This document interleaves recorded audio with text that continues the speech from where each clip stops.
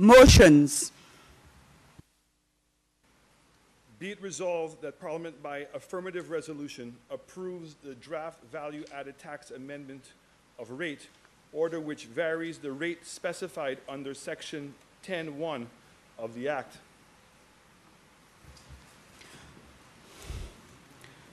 Honorable members, the question is that Parliament, by affirmative resolution, approves the draft value added tax amendment of rate order, which varies the rate specified under Section 10.1 of the Act.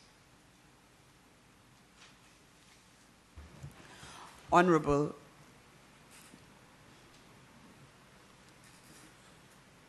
Madam Speaker,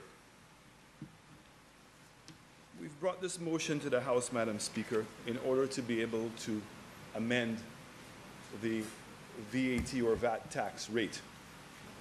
As announced last night, Madam Speaker, in my address to the nation, that we have contemplated the VAT rate and have come to the conclusion at this particular juncture that we want to reduce the rate from 15% to 12.5%. In order to make this determination, Madam Speaker, we conducted several studies. The first study that we had conducted, Madam Speaker, was a diagnostic study done by the Caribbean Development Bank, led by the Caribbean Development Bank, which included the Eastern Caribbean Central Bank, which also included the World Bank and the IMF. Um, that report, Madam Speaker, was very, very informative in terms of the desires of the government. So clearly, in reading that, in preparing that report, Madam Speaker, we decided to address the situation head on and provide the CDB with an outline of what the overall objectives are for the government, Madam Speaker. It has long been believed by our government that the level of taxation in this country is too high. And that what in fact was happening was the amount of monies available in circulation was causing a further contraction of the economy. And that the policy or the idea of increasing VAT to 15% in a time of a recession further contracted and exasperated the situation. And we saw many small businesses, Madam Speaker, going out of business.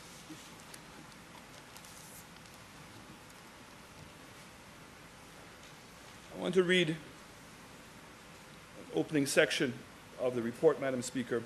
It says, while VAT now accounts for 50% of the indirect taxes and 37.1% of all tax revenue. So of all the tax revenue we collect, VAT is 37%. And taxes as a revenue is 50% of the overall uh, form of taxation. Performance has been undermined by a plethora of exemptions and zero rating of goods. I bring this up because I remember in the campaign, Madam Speaker, I indicated that VAT is the most effective tax in collecting money. But a flaw in VAT is when we use it to be able to direct or implement a social program. And we're all tempted to reduce the VAT rate to zero or to exempt certain items from that being VATable. And so the report goes on and says that all tax revenue performance has been undermined by the plethora of exemptions and the zero rating of goods. One measure of that revenue, product, revenue productivity, the C coefficient ratio, calculated in 2014 um, at around 0.36%, suggested that there were inefficiencies in the system. Inefficiencies. Because of the number of exemptions that we had and how we had put together the VAT regime. That those could be driven by, one, a policy gap where there are high number of exemptions or VAT is not applied on a single rate, or a compliance gap where VAT implementation is imperfect, in, in, imperfect, imperfect. With a ratio of 91% VAT, a compliance gap where VAT implementation is imperfect, where a ratio of 91% VAT compliance was found to be generally reasonable, although it has been declining gradually. So it means that we had a, a high amount of compliance to VAT when we first introduced it. But as VAT continued, the amount of compliance started to reduce, meaning that people found ways to get around the VAT net. And therefore, I don't think it's any secret that when you go to some stores, that you're offered the choice of paying cash or in getting a receipt.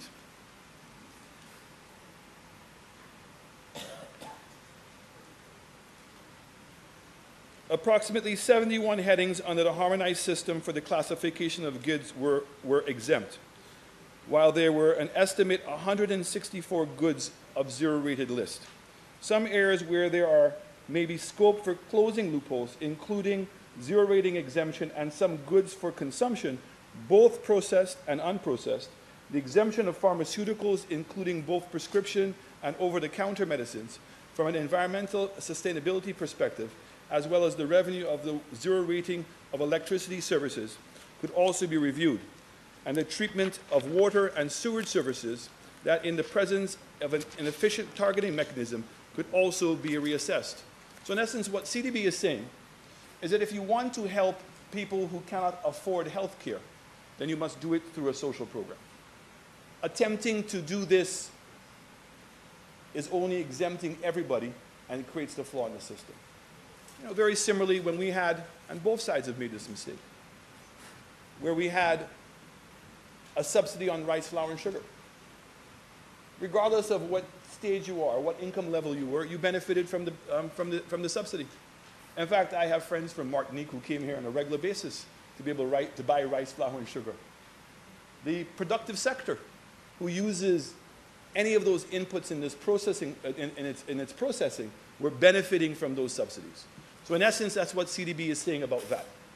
That when you make these exemptions to be able to target people that are in need, it creates a flaw in the VAT, and it's not recommended. So in moving forward, Madam Speaker, we chose at this time to reduce the rate to 2.5%. And if you will see that we have not changed any of the current exemptions. So by calculation, Madam Speaker, we're talking about that we would be injecting the tune of $52.5 million for one year back into the economy, back into the hands of the productive sector, back into the hands of the households of individual people. In essence, trying to lower the cost of living. But I have to say to you, Madam Speaker, that the report also warns us that in small economies like ours, attempting to grow the economy only by increasing consumption could potentially dampen our growth rate.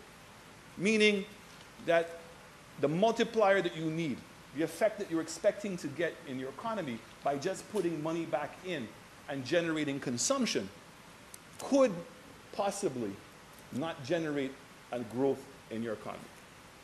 So therefore, putting money back into the economy by itself potentially will not result, result in any change. In fact, you must look to get foreign direct investment or investment in your country and grow your economy structurally, combined with the reduction in the VAT rate to potentially allow your economy to be able to grow. I make reference, Madam Speaker, again to the report where it says,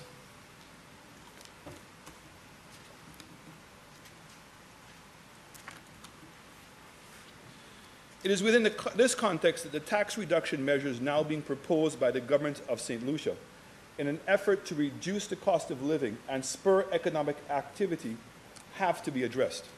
All the intention of the proposed policies is laudable.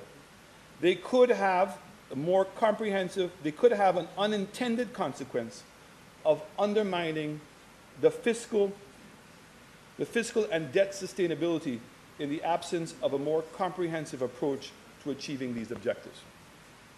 Notably, even if in an increase in economic activity to occur, occur as a result of the proposed policies, given the low fiscal multipliers for St. Lucia, it is not likely that such increases would be sufficient magnitude to compensate for the revenue loss.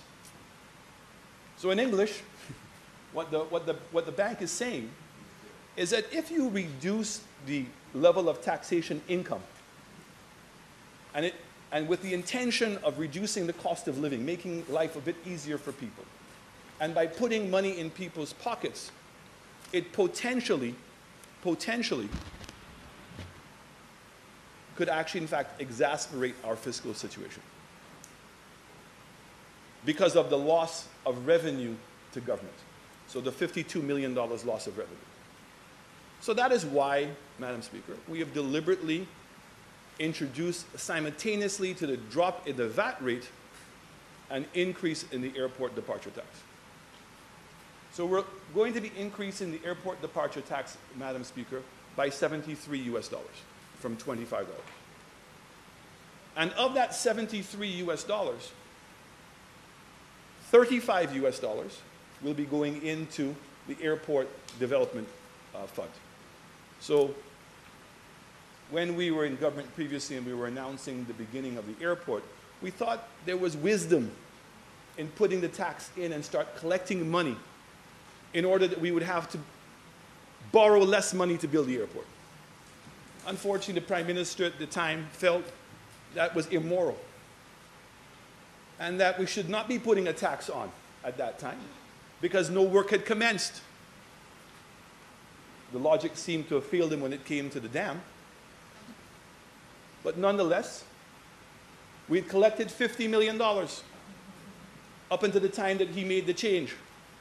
And if in fact we had left that $35 on, we would have in excess of $200 million in the account today, Madam Speaker, which is half of the amount of money that we would have required to be able to build the airport.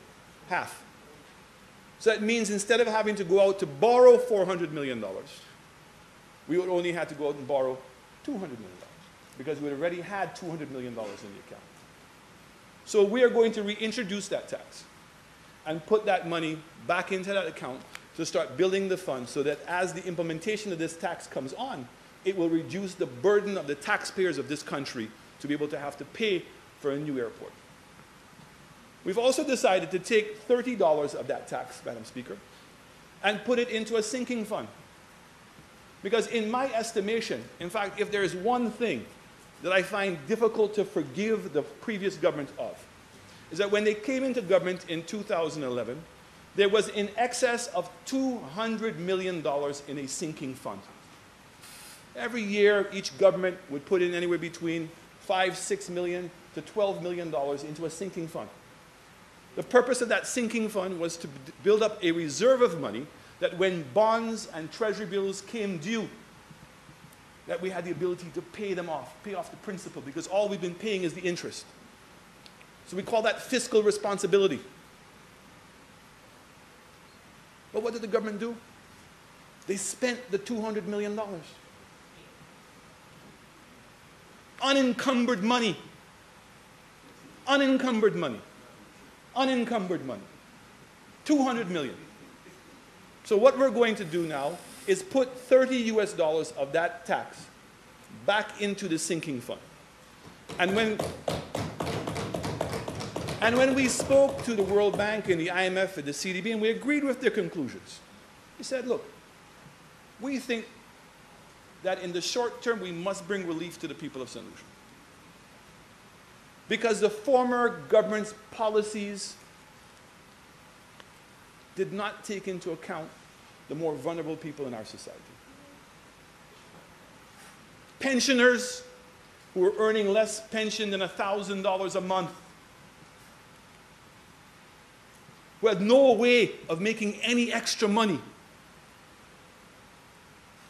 A 66% hike in water.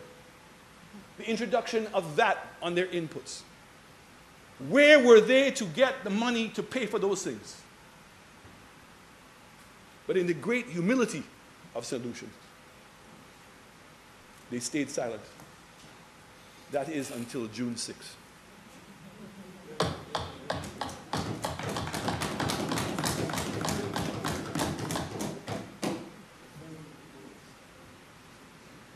The young people who realize that you cannot have one job in this country to be able to survive. Not one. People know that they have to have multiple jobs. The mother who is taking care of the household, when everybody goes to work and to school, where does she find herself? Vending. Or a little farm to grow some stuff and then sending things down to be vending. Young men who had jobs but knew that the, construct the construction jobs were not stable took their money to buy a small truck to find themselves in additional business. All of a sudden, the license fees were doubled and trebled in front of them. Many of them had to take those same trucks and park them and watch them. And every day be angry at a government that seemed insensitive to what they were trying to accomplish. But they too, but they too, Madam Speaker, on June 6th, were able to express their frustration. And the list goes on, Madam Speaker. People who had no money to simply go to a hospital, pay for a a doctor's visit. People who didn't have the money to buy a prescription. People who were suffering in silence. So, what we have done, Madam Speaker, is reduce the 2.5% to bring some immediate relief to the public and to the businesses of this, of this, of this economy, but covered ourselves by putting the $30 US into a sinking fund. If in fact that we are able to stimulate the growth in this economy by bringing some new investment, which we've been working hard at, combined with now this new relief in the economy, which hopefully can increase the consumption, hopefully we see enough growth in the economy that we earn as much money taxation-wise with a lower rate. But if we don't, we are not going to jeopardize the vulnerability of this, of this economy. So we're reserving those monies in order to be able to make sure we can cover the shortfall. In addition to the prudent fiscal management an important element to ensuring fiscal and economic stability is unlocking the country's economic growth potential. At present, at present St. Lucia's growth potential, and I want you to listen to this. St. Lucia's growth potential is around 2%, which is inadequate to reduce the stubbornly high unemployment and raise, and, and raise the standard of living of its citizens. Unlocking growth will require a heavy emphasis on institutional reforms and strategically selected infrastructural expenditure. What does that mean? It means that they're seeing that as the economy is currently structured, if we were to continue down the path that the former government was going on, the most that this economy could grow is 2%. and that that 2% rate is inadequate to cover the increases in debt and to be able to provide the standard of living that we all want, that we also deservingly, we richly deserve. That is what we should be focusing on. But the government was too concerned about macro account numbers, fooling people. How do I know that? The report says there are two numbers that we must focus on. First of all, is there extra tax money to be collected? They said we, if we can improve our efficiencies, maybe we can collect some more money. They said there's about a $100 million shortfall. But the fact is that when we measure tax revenue as a percentage of the GDP, St. Lucia ranks at the same level of the developed countries of the world, meaning England, and Germany and the United States of America. We're collecting about 25% taxes to GDP. 24.5%. And the rest of the Caribbean is at 21%. The second thing that was interesting in the report is that when you measure how we were spending the money, that St. Lucia ranks the lowest, meaning we were spending some of the highest amount of money in public sector investment, and we were getting the lowest rate of return. So we were making all these sacrifices, nice and step, and the CDP program, and running around. That's what I'm saying to you, fooling the people of St. Lucia, because those investments were not improving the capacity of the country to grow. That is the reality. That is the reality, and the numbers are there to speak for itself. Three years of economic contraction, and come here and talk about 1.3% growth? When for three years we declined? What about talking about leaving the country better than you found it? It's okay to criticize the former government, but leave it better than you found it. And then those words resonate more with people. But in fact, you all left it worse than it was before. Some reforms which government. Lucia should consider include exploring the linking of wage increase to productivity in the public sector, raising labor productivity by enhancing private sector participation in curriculum development to address the current skills and mismatches. You know, I remember when a very uh, well-respected political leader, Prime Minister Owen Arthur, came and spoke on their platform. But they were focused on what Owen was saying about me wanting to reduce VAT. And here we are reducing VAT. But Owen also said to them, what? It is unexcusable that a government would not recognize that the unemployment rate that you have is intrinsically linked to the deficiency of the education system and doing nothing to address it. That's him. People were over there on the other side celebrating, saying, oh, He's telling Chastanet he can't increase, he can't reduce VAT, as if you're celebrating the fact that people should not get a benefit. Reducing energy costs and improving energy security by utilizing concessional resources and exploring the opportunities for public-private partnerships in the area of renewable energy. I'm very happy to see the inroads that the former government was making. I think we were moving in the right direction. I also very happy that the World Bank intervened in Grenada. And a similar contract that is here in St. Lucia, the World Bank participated in breaking that contract, that monopoly. And remember, when the Dominica government broke Cable and Wireless's monopoly, how we saw a change in communications. I believe that changing that contract in Grenada will have similar repercussions throughout this region because the cost of energy is too high, one. Our dependence on outside resources, meaning energy from outside the world, in which the prices continue to fluctuate between $150 all the way down to $46, leaves us in a vulnerable state. And we must find a way to bring some stability to that. And clearly, harnessing green energy is a critical area. So I applaud the former government in moving and continuing in the direction we were going in, but unfortunately it didn't go far enough. And where you've left it is where we will take it and make sure we introduce now green energy in order to reduce our vulnerability, allow us to meet our SDG goals that we've set, but more importantly, bring price stability to our energy sector and to be able to make sure that we're reducing the the cost of energy over a period of time. And what we have to continue to depend on, that's where Minister of Sustainability and the idea of also having her be the Minister of Innovation is critical.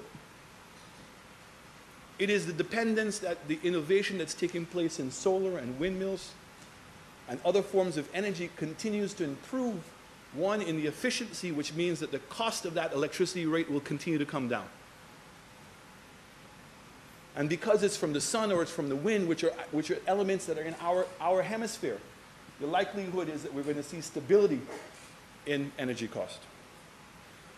Energy costs are important not only to the cost of living of solutions and our Uh, foreign exchange, but also more importantly in making us more competitive. We cannot be competitive when we're paying 36 to 38 cents or 40 cents US a kilowatt hour for electricity.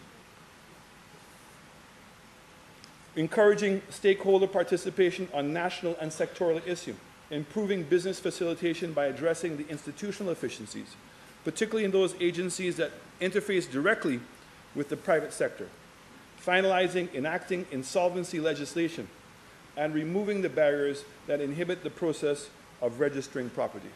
Is a very vexing issue, Madam Speaker. It's a very troublesome one. Because of our Napoleonic, our French history, we have a Napoleonic code which has enshrined certain laws when it comes to um, foreclosures. And sometimes we only look at this thing from one side. We look at it from the person paying money and, and, and, paying a mortgage, finding themselves with an inability to pay, and then losing that house. But if you don't address that situation, and we address it in a very socially conscionable way, if you don't address that situation, we now find ourselves where, on average in this region, that the banks are holding non-performing portfolios of in excess of 17%, meaning that 17% of the loans that they have are not performing.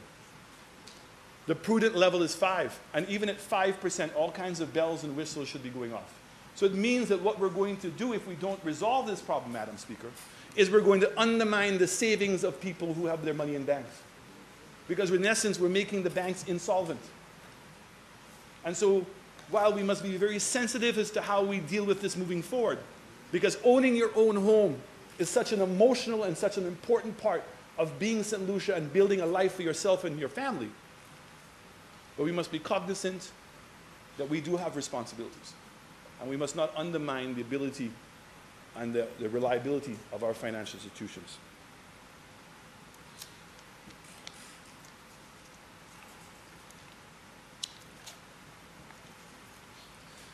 In light of the preceding discussion, the government of. Lucia should, should seek to review the system of taxation with the aim of enhancing efficiency, equity, and transparency. Closing revenue leakages in the major tax categories such as VAT, PIT, and corporate tax should be an imperative, particularly in light of proposed policy solutions. This would ensure, among other things, the more equitable use of deductions allowances, addition to use of cabinet concessions to incentive, incentivize private sector activity, and especially where these decisions are not made publicly available, should be limited. And it does, it does to not promote transparency or ensure predictability. In this regard, government solutions should consider the use of omnibus, omnibus legislation to cover the range of concessions across various sectors. And in the event that a cabinet conclusion is required, the publishing of these decisions. Lastly, the government of St. Lucia should seek the conduct and publish annual tax expenditure reports to better engage the, in the cost-benefit analysis of incentives. On that matter, Madam Speaker, we went through a lot of discussions because the report also indicates that the productive sectors of this country which have an opportunity for growth all have one thing in common they're export led. So there's this conflict with regards to giving incentives and to what, to what effect does it make those businesses more competitive? Because if you don't give those incentives and your businesses are not competitive, they're not going to grow. And therefore, the rationale of what we like to call foregone revenue is not necessary. So the question becomes, how do we make that happen? And the Minister of Tourism alluded to it, that we're in the process of reviewing all of our incentives, not just in tourism, but in agriculture, in manufacturing, and in industry. And that there is going to be a core commonality in those incentives because they're all export-led. So the premise that applies to manufacturing or to our banana sector also applies to tourism and our financial services. There has to be that consistency.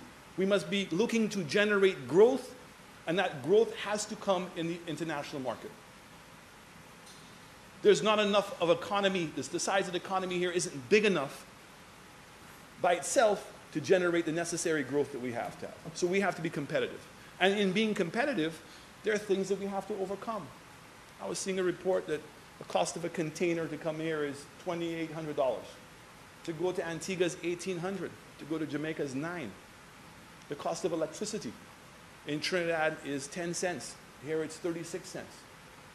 So it's, it's, it's four times, 400% higher here than it is in Trinidad. Cost of labor. We think the cost of labor is low here, but relative to Mexico and the Dominican Republic and parts of Asia, we are high. So these are the things that we must address. We must be able to determine how we're going to be competitive. I bring all this up, Madam Speaker, because the report is all encompassing. We are engaged with the private sector, with the unions, with international agencies, with the intent that by April that we will be announcing a comprehensive four-year strategic plan. One that recognizes we cannot continue doing business as usual.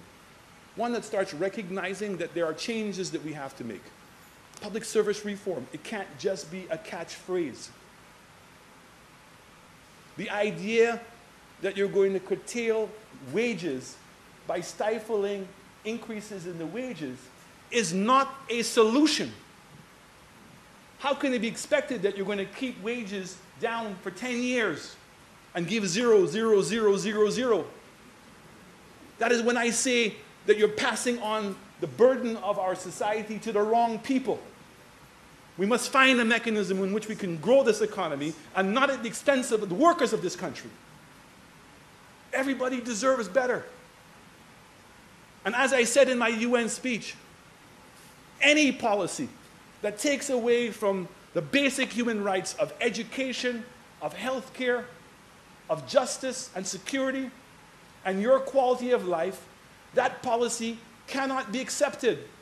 Not for a short time, not for a medium time, and certainly not for the long term.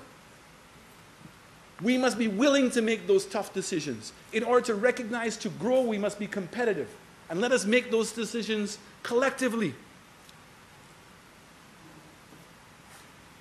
That is why, Madam Speaker, this 2.5% was designed to be part of five to stay alive.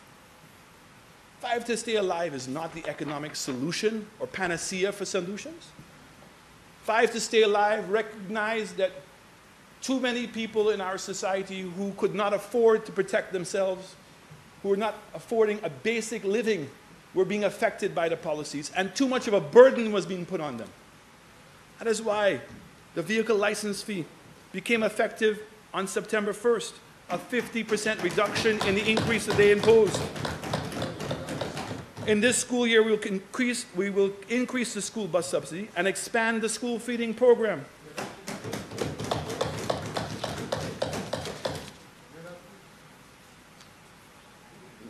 Property taxes. We all should pay property taxes. But the system of imposing property taxes based on the value of your land. Well, you know what? If I want to borrow money, I know who to go and value my land. If I want to sell my property, I know who to go and value my land. If I want to pay taxes, that's not the same person that's going to evaluate my land. And unfortunately in St. Lucia, we have the choice. So valuation of land is not the appropriate way in this economy to be able to assess the property taxes. So we have to find a new system. So while we're finding that system, this government has seen it fit to make sure that the money stays in the pockets of the people who could not be affording at this point to pay the property tax. And even though many of the people were not paying the property tax, they are good, conscionable people. They are Catholic people. And guess what? They went to sleep at night feeling guilty they were not paying those taxes. The Ministry of Finance is working with the Ministry of Health on the proposed target amnesty on healthcare, which will begin on the 1st of December. Pensioners who are making less than $1,000 a month People who are unemployed and who are already on the poverty list should not have to pay for health care. And they should not have the burden of going and feeling guilty about going to the hospital knowing that they owe money, or terrified to go and see a doctor, or terrified to go and get a prescription. Until we get the healthcare system, we cannot continue to allow them to carry the burden.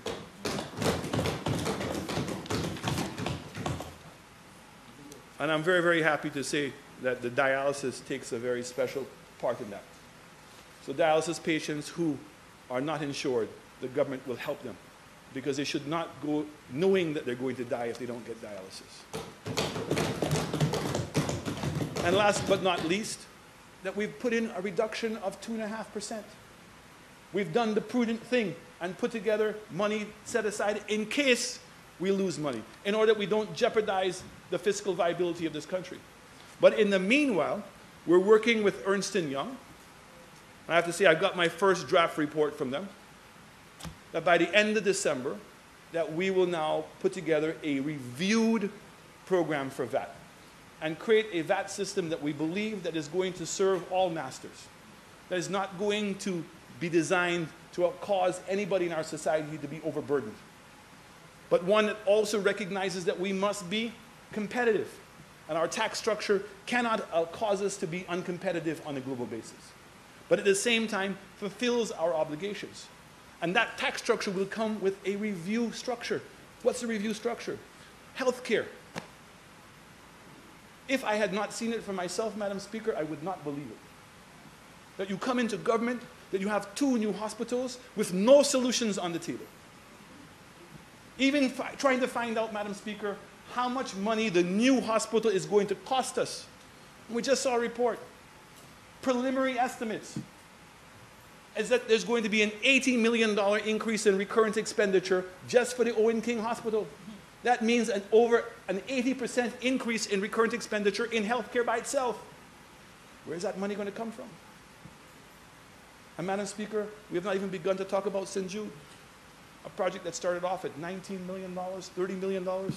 Now we're at $91 million. Potentially, buildings would have to be broken down because there was no plan, not even being built to standard.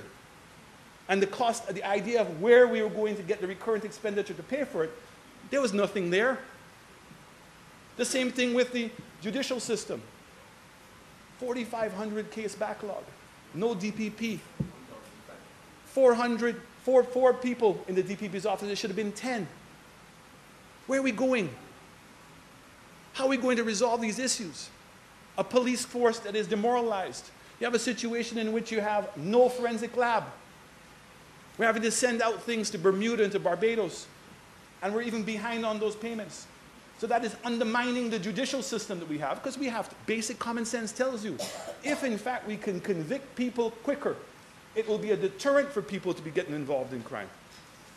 But almost we're giving people a license to commit crime in this country.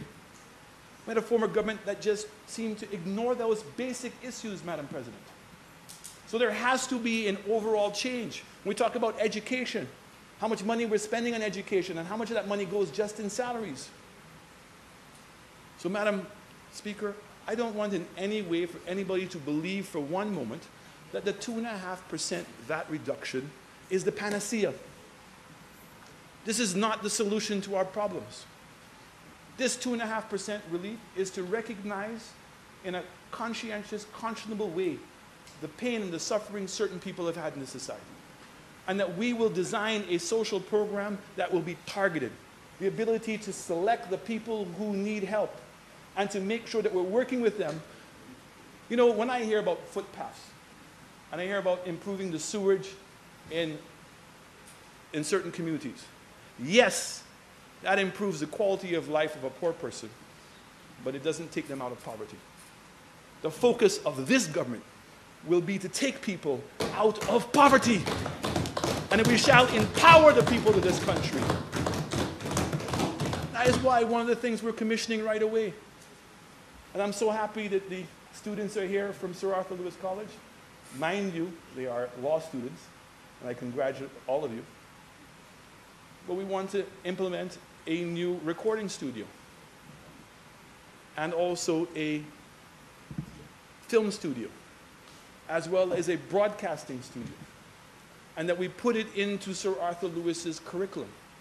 Because when we talk about the creative industries, it's not about the ability who puts on the best concert. It's about allowing our young people to participate in the creative industries. And when I had the opportunity to speak each one of you, I said to you, entertainment law, it's global. Entertainment law is based on what? It's based on an idea.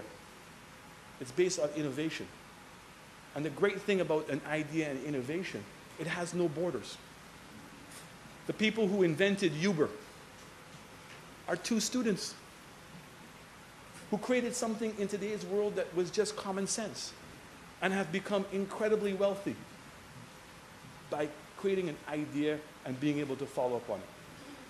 And I encourage all the young people to follow in the footsteps of the people in this country who have been successful. People who have taken on the world intellectually, Sir Arthur Lewis and Derek Walcott. If they can do it, why not you? So, Madam Speaker, I rest at this moment only to say that this government is acting in a prudent fashion. I'm hoping that people will enjoy the, the benefits of the 2.5% decline, that the increase in the airport tax, we believe, will have no impact on the tourism arrivals to this country because we're charging what other people are also charging. It doesn't make us any more or less uh, competitive than anybody else. And that we're going to reserve that money, and hopefully we are right, and we see growth in our economy, we see continued growth in the revenue of this country at a lower tax basis, and the money that we're generating will go in to help improve healthcare, education, and your future. I thank you very much.